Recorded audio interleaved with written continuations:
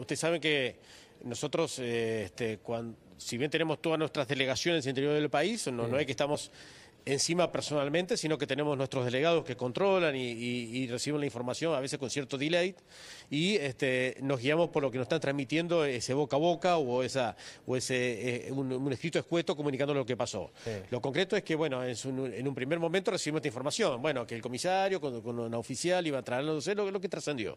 Fueron atacados, es como una especie de atentado, entonces, bueno, tanto la ministra como en su momento este, quien habla emitimos opiniones, bueno, que, decíamos que fue una, agresión increíble que no se podía permitir, pero bueno, por el transcurso de los días este, igualmente yo digo un, detalle, a mí me llamó siempre la atención el lugar de, las lesiones que tenía el comisario, pero bueno, podía ser, él lo estaba explicando, yo también presumí que ese, disparo que tenía era Ingle, Ingle eh, eh, siempre, yo digo, a lo mejor se le disparó, que suele pasar una, muchas veces en un, enfrentamiento, en la urgencia, por sacar el arma se le escapa un tiro y muchas veces eso ocasiona como cierta negligencia y cierta vergüenza y no se lo dice, yo lo, pensé por ese lado, pero bueno, después eh, el transcurso de la investigación ha tomado otro cariz. Eh, evidentemente hubieron mentiras, pero bueno, lo concreto que esto está, lo está investigando la, justicia de Santa Fe, solo, solo lo que yo dije en su principio, quiero, y, insisto que se debe trabajar con, con, mucha imparcialidad, que creo que lo están haciendo, este, no,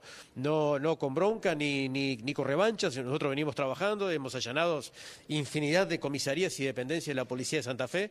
Eh, este caso, por supuesto, que nos perjudica, eh, nosotros venimos traccionando y haciendo haciendo bien las cosas, dando buenos resultados y, cuando tenemos este eh, estos delis... Eh, ¿Pero qué pasó, comisario? ¿Cuál, es lo que presume usted? Usted que es un avisado jefe de policía, no estoy hablando solamente de policía. Bueno, ¿eh? no quiero opinar porque quiero que trabaje libremente la justicia. Acá está trabajando la justicia ordinaria de Santa Fe. Quiero que no, no, quiero es una cuestión de, acción pública, digamos, a ver, de, no de acción pública, perdón, privada, una cuestión vinculado a un tema privado.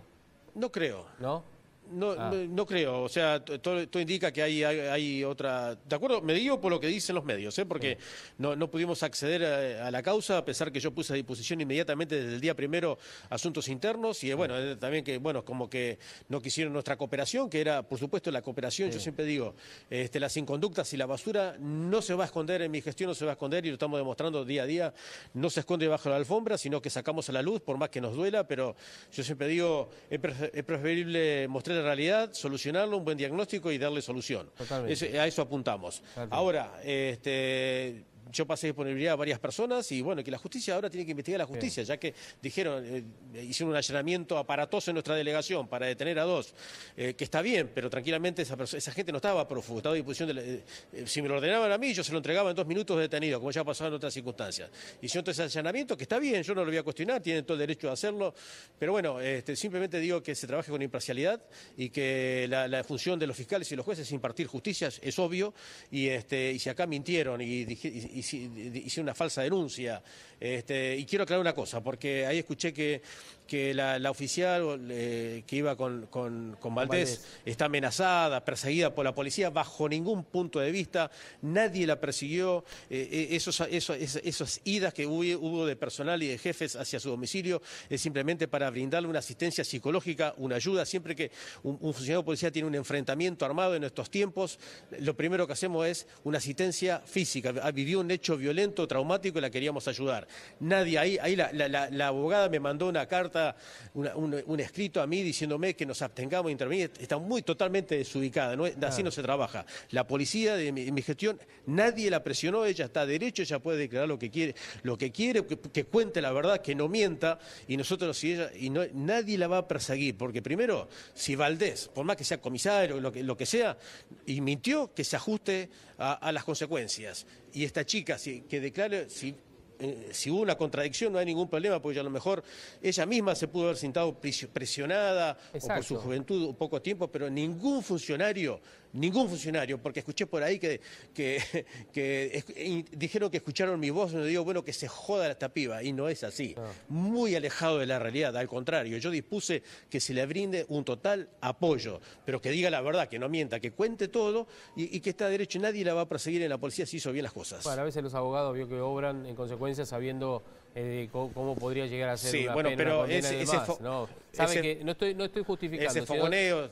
estamos entendiendo cómo es el trabajo de los abogados a veces también, ¿no es cierto? en estas circunstancias, ¿no? Sí, eh, pero bueno, pero eh, tiene que entender también que con la mentira y tirar nafta al fuego ocasiona mucho daño a, las personas y a las instituciones.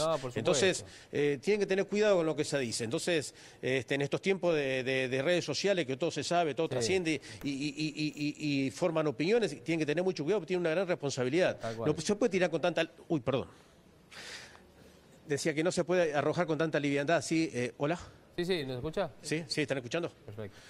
Sí, ahí, sí. Este, que tiene que tener mucho cuidado, pero yo quiero aclarar eh, que en todo momento nosotros fuimos respetuosos de la actuación de la justicia, colaboramos, le dijimos que estamos a disposición y la justicia optó por seguir su, derrotero, entonces que, se ajusten a... Es importante las pericias, las pericias que van a llevar a cabo, los estudios, los estudios psicológicos, los estudios periciales, es importante. Es decir, creo que... ajustarse a derecho, como son los policías y por supuesto como es cualquier otro civil.